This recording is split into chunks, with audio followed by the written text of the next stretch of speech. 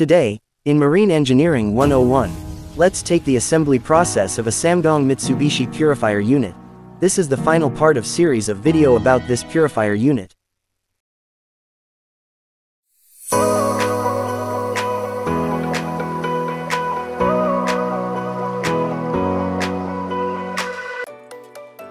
As a basic rule on assembly, always refer to maker's manual for special instructions on assembly.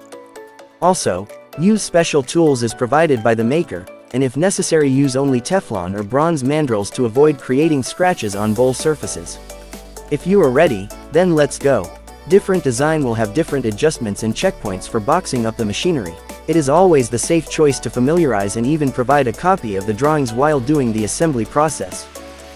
As an assembly keypoint, always check that keyways, dowel pins and zero markings coincide with each other upon boxing up. These are guide for proper alignment and correct positioning of parts. Upon assembly of parts, refer to drawing for correct order. Avoid forcing parts that are too hard to fit. Any counter forces during assembly means wrong position of parts. Aim for smooth and easy meshing up of metal parts and balance fitting.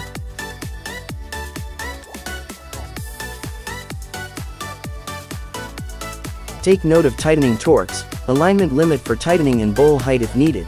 Any deviation on bowl height from previous setup means wrong assembly of the unit. Do not run or continue on such condition. The deviation may cause dangers on operation of the purifier. Tally marks on the lock ring to the bowl body can be adjusted up to 20 mm from previous markings. Adding of removing bowl discs may affect tightening process hence the markings shall be your guide and limit. More than 20 millimeters means a misalignment on the bowl.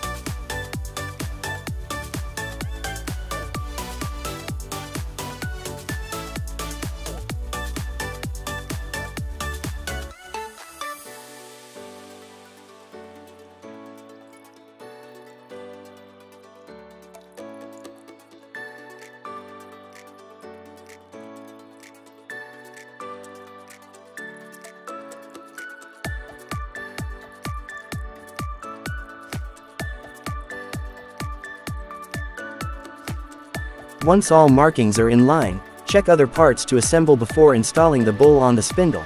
Make sure that pilot valves are tight and the water supply device is not leaking.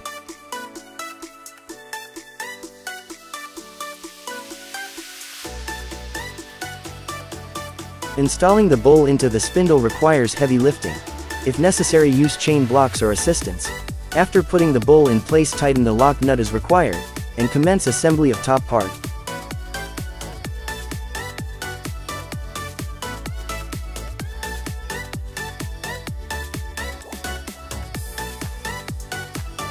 After securing the lock nut, start assembly of inlet and outlet device.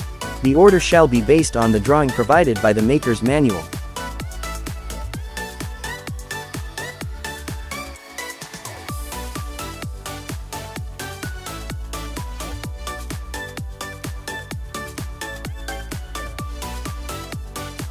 The final stage of assembly focuses on the bowl hood and the pipe connections of fuel and operating water.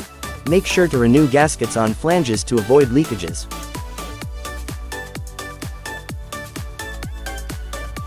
If you learned something from this video, help us grow by sharing, following and commenting on our Facebook page Marine Engineering 101 Plus and our Marine Engineering 101 YouTube channel.